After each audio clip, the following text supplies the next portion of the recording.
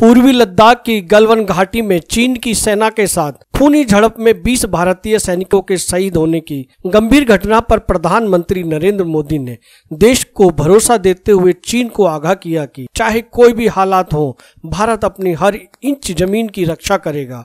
भारत को उकसाने पर हर हाल में चीन को निर्णायक जवाब भी दिया जाएगा।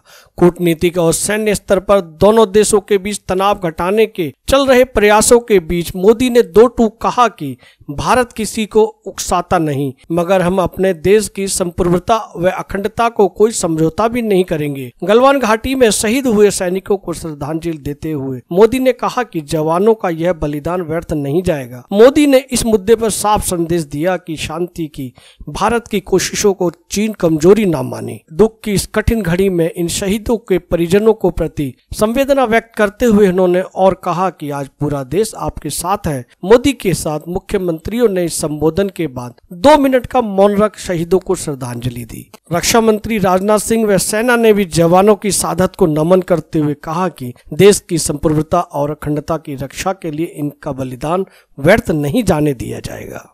अगर आप ये वीडियो YouTube पर देख रहे हैं तो हमारे चैनल को सब्सक्राइब करें और बेल आइकन को दबाना ना भूलें। अगर आप Facebook पर यह वीडियो देख रहे हैं तो हमारे पेज को लाइक करें।